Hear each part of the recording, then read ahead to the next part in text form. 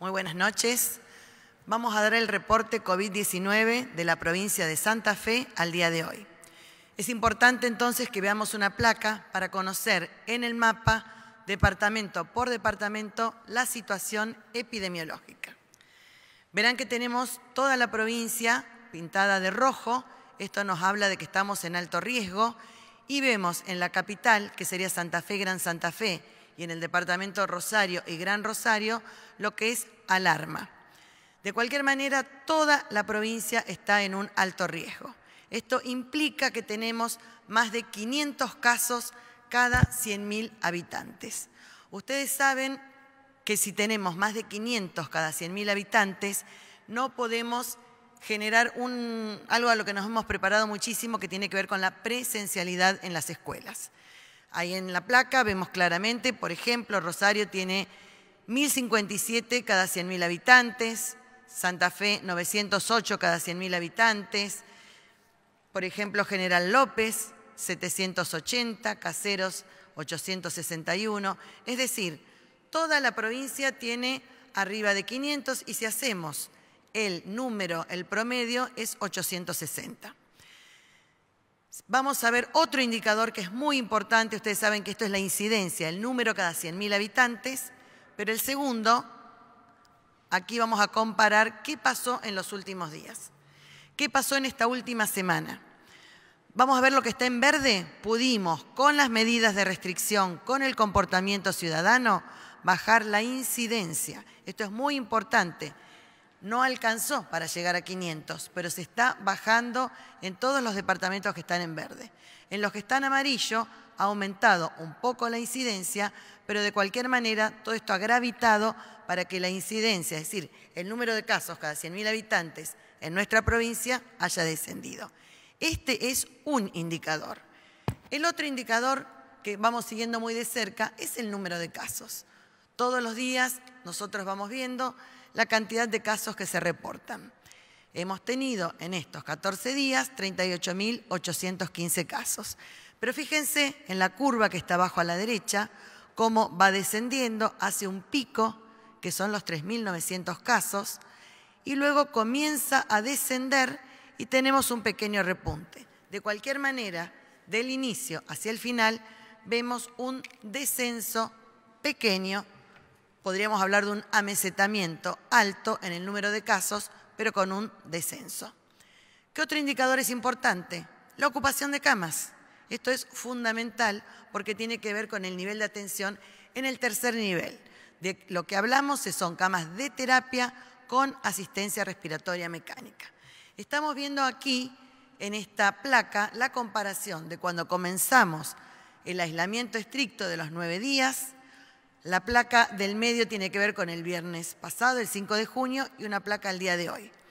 Vamos a ver, cuando comenzamos teníamos niveles muy altos, de 96% a nivel provincial, pero fíjense que subió hasta el 98% y nos mantenemos en el día de hoy prácticamente en los mismos niveles iniciales. Esto cuando uno lo lee tiene que ver con que si no hubiéramos tomado medidas restrictivas, los casos hubieran seguido aumentando y la ocupación de camas se hubiera sostenido. Recordemos que cada cama que se ocupa está como mínimo eh, utilizada entre 21 y 30 días. Es por eso que el panorama que avisoramos es que podemos tener un descenso en los próximos 14 días. De la mano de estos datos que estoy mostrando, como les dije anteriormente, tenemos más de 500 casos cada 100.000 habitantes en toda la provincia es que les decía que no podemos volver a la presencialidad como desearíamos. Sí vamos a tener presencialidad en aquellas localidades que en los últimos 14 días hayan tenido menos de 10 casos. Podemos decir que son más de 100 localidades. En el resto de la provincia continuaremos con el modo de educación a distancia y con virtualidad y todos los elementos que la misma nos permite para continuar educación en este periodo. El día viernes volveremos a reevaluar la situación provincial. ¿Cómo sigue este fin de semana? Igual que los fines de semana anteriores, es decir, con circulación restringida durante las 24 horas y las mismas medidas. ¿Qué cambia a partir del lunes? Pues bien, El día lunes vamos a tener el horario de los comercios de 9 a 19 y la restricción vehicular desde las 20 hasta las 6 de la mañana. Y lo que se anexa es que se podrán realizar actividades al aire libre hasta 10 personas. Esto sería el panorama actual de la situación epidemiológica y lo que nos permite flexibilizar en estos días. Muchas gracias. Gracias, Sonia.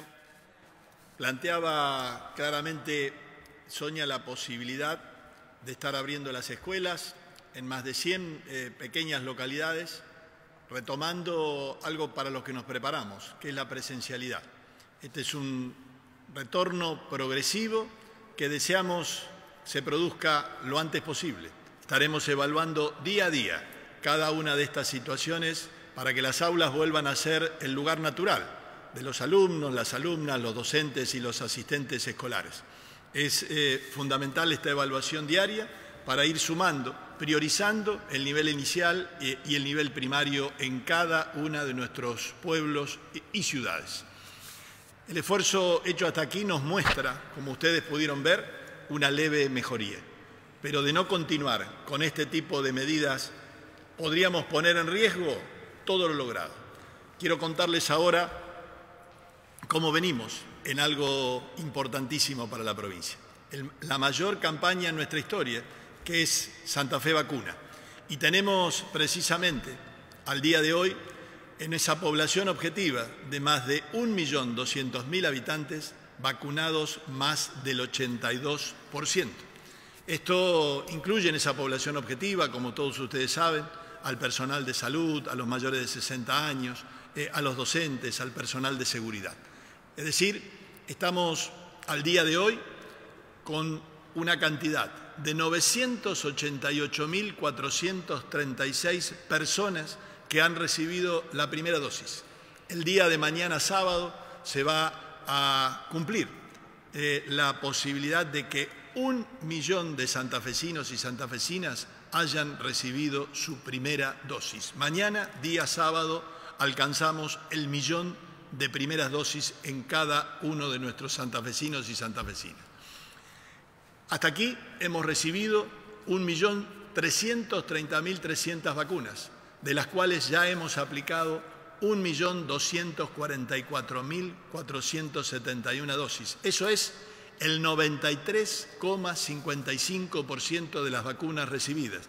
Como nos habrán escuchado en muchas oportunidades, tratar de vacunar a la mayor cantidad de población en el menor tiempo posible. Esto significa, si agotamos el stock, estamos en el buen camino.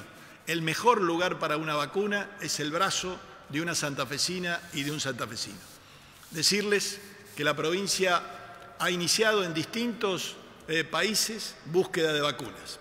Hemos celebrado hoy eh, la posibilidad de que ADMAT haya autorizado a la vacuna Cancino, una en las cuales la provincia eh, ha firmado un acuerdo junto a otros laboratorios en lo que los venimos haciendo. Como les he dicho en otra oportunidad, no es un proceso sencillo, no es salir al mundo, encontrar una farmacia y traernos todas las vacunas es un proceso que estamos haciendo junto a la nación y ojalá podamos, las provincias argentinas, sumar algunas dosis más a la campaña nacional. Eso nos permitirá poder tener el mayor número de argentinos vacunados y, lógicamente, nuestro deseo de santafesinos eh, en particular. De agradecerles el esfuerzo que se viene haciendo hasta aquí. Ese esfuerzo da resultados. Hay mejorías lentas. Nos gustaría ir también más rápido pero tenemos que ser claros. Hay medidas que se han tomado parcialmente, con lo cual los resultados también tienen estas características. Es la necesidad de convivir con el cuidado de la salud, con el cuidado de la vida de las personas y mantener adelante la actividad económica. El consejo de los expertos del día de hoy, del día de hoy fue muy claro.